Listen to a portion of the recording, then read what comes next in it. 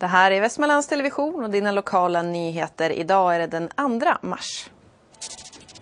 Klart att Kansovska läggs ner och MC-mässa i Västerås.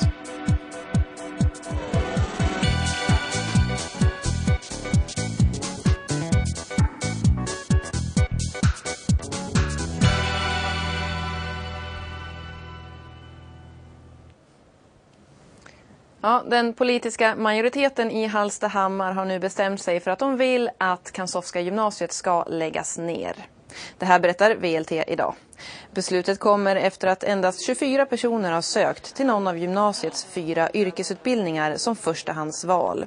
Förslaget till beslutet har tagits i barn- och utbildningsnämndens arbetsutskott och innebär att Kansaska gymnasiet successivt avvecklas under en tvåårsperiod. Slutgiltigt beslut kommer att tas i fullmäktige.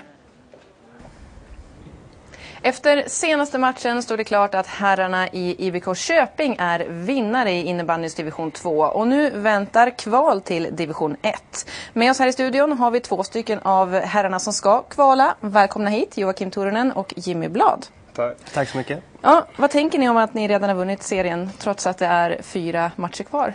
Eh, det är riktigt skönt. Och, ja, det var vårt mål att försöka, försöka vinna serien så fort som möjligt. Och, så att det inte ska gå till sista omgången. Så. Varför det? Varför är det viktigt? Eh, onödigt spännande. Så. Vad säger du? Samtidigt har vi ett så pass bra lag så att eh, det var i början av säsongen ska jag vara ärlig och erkänna att det var något liknande man hade räknat med. Så att vi, vi, eh, vi visste att skulle vi spela som vi kan och vill så, så skulle det se ut så här i slutändan. Vad är det som gör laget så bra? Eh, det är ju framförallt så har vi ju, vi har ju väldigt bra spelare eh, nästan överallt.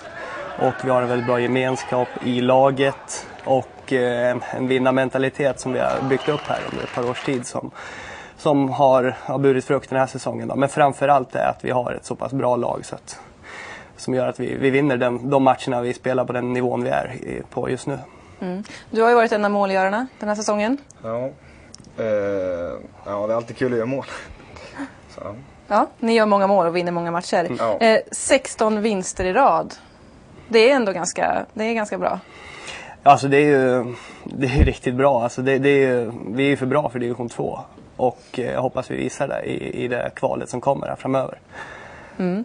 Och det är fortfarande några matcher kvar innan det är dags för kval. Hur kommer ni eh, tänka där om vi börjar med dig som är spelare? Eh, vi går ju för att vara obesegrade.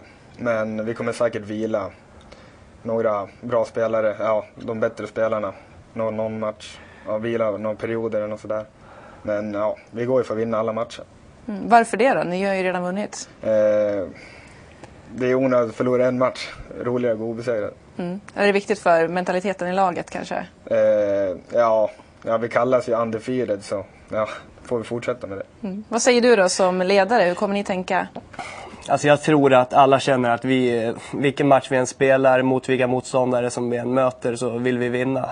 Eh, och sen så framförallt nu de sista två matcherna kanske så kommer det vara väldigt viktigt att vi, vi håller den nivån vi, vi kan och ska eftersom i kvalet så kommer vi ställas mot ett helt annat motstånd än det vi har mött den här säsongen i serien. Det har kanske varit en två, tre, kanske fyra matcher som verkligen har haft den här digniteten av att vara spännande och jämn. Så att därför i kvalet, eh, inför kvalet så är det väldigt viktigt att vi i serien liksom kör fullt ut och kommer så väl förberedda som möjligt. Mm. Ni har ju som sagt dominerat division 2 i år. Hur skulle ni klara er i division 1? Eh, jag tror vi skulle klara oss ganska bra.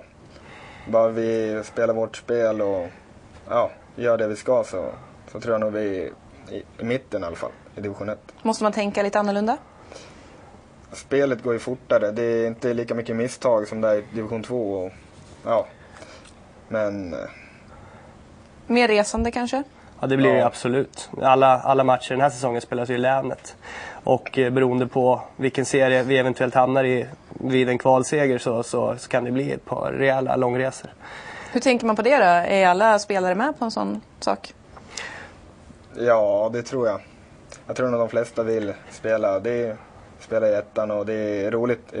Ibland kan man ha kul på bussen till bortamatchen och sådär. Så ja, det tror jag nog funkar. Vad tror du? Lyckas ni i ettan? Ja, det, det skulle jag vilja säga. Alltså, med nuvarande lag så, så jag skulle absolut inte se oss åka ur. För så mycket division 1 innebandy har man sett. Så att, eh, och vi har mött ett par division 1-lag på försäsongen också och gjort bra ifrån oss. Så att, men, men det är alltid svårare att vinna en serie än att hålla sig kvar i en som är högre upp. Så att, eh, det gäller att ta det här kvalet först så, så får vi mäta våra krafter. Men som sagt, går vi upp så då är jag fortsatt optimistisk. Mm. Eh, vi tackar er för att ni kom hit, Joakim Toronen och Jimmy Blad. Och lycka till imorgon och lycka till i kvalet. Tack så mycket. Tack så mycket. Gillar ni förresten att åka motorcykel? Eh, aldrig gjort. Inte jag heller faktiskt, men det ser ju spännande ut. Ja. Eh, för den som är intresserad av motorcyklar så kan man ta sig till MC-mässan i Västerås i helgen. Där kan man bland annat kolla in eldrivna hojar för barn eller varför inte prova att racea som en Formel 1-förare. Vi åkte till mässan tidigare idag för att kolla in utbudet men också för att kolla in vad det är som lockar så mycket med att åka motorcykel. Jag tror att det är friheten, just det här att man sitter ute, du är ute i naturen och jag tror att eh, i alla oss grabbar tror jag det finns en liten kille som alltid har lyssnat på det här med med motorljus när man var liten och jag ser det på, på eh, besökare som är uppe i mogen ålder, om man säger så, riktiga veteraner som tycker att det är jättekul fortfarande att gå och titta med, med eh, glimmande ögon på de här maskinerna. Berätta lite, vad är det här för cyklar som pojkarna åkt omkring på? Det är en, en elmotorcykel kan vi kalla det för, en eltrail. Och det är någonting nytt? Ja, det är helt nytt. Det är eldrivna små motorcyklar som går att köra överallt. Ni kör ju cross i vanliga fall. Hur är det att åka på sådana här hojar som drivs med el? Ja, det blir lite skillnad för de är inte lika starka och de hörs inte. Man vet inte riktigt ja, hur mycket som kommer när man gasar för man hör inte. Men eh, är det kul då? Ja, det är jättekul. De här är lite lättare och så. Det, de krossarna är lite tyngre. Då är det lite lättare att köra de här.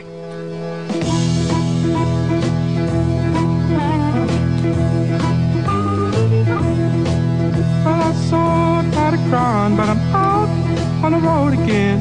I'm on the road again. But I'm so tired of crying, but I'm out on the road Vad ska man tänka på då som eh, kanske blivande MC-förare om man är här och besöker mässan för att man är sugen på att börja köra hoj? Ja, som blivande. Det, kategori 1 är de som inte har körkort. Tar eh, körkort och sen börjar eh, träna själv då och kör försiktigt när man väl fått körkortet. De som har körkort sedan tidigare, ja, kanske går på en avrostning med SMC typ eller någon annan organisation.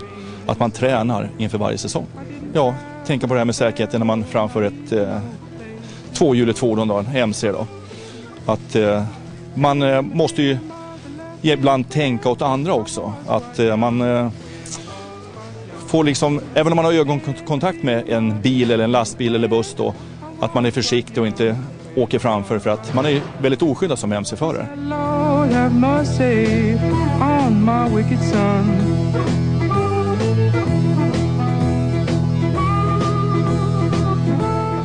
Niklas, vi står här med en liten eh, annorlunda simulator. Vad är det för någonting? Det är en Formel 1-simulator. Så att man får en upplevelse att köra Formel 1-bil.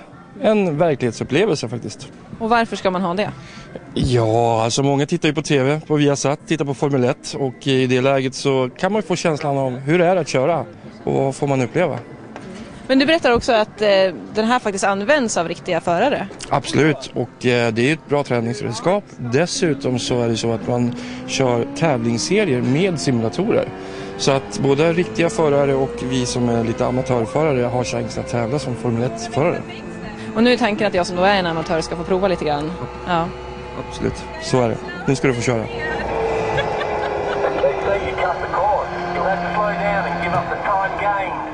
Sen växlar du uppåt. Mer? Nu växlar du ner. Sådär ja. Jag tror det räcker. Nej, verkligen inte så lätt som det ser ut när proffsen gör det. Nu önskar vi som har jobbat med den här sändningen er en riktigt trevlig helg.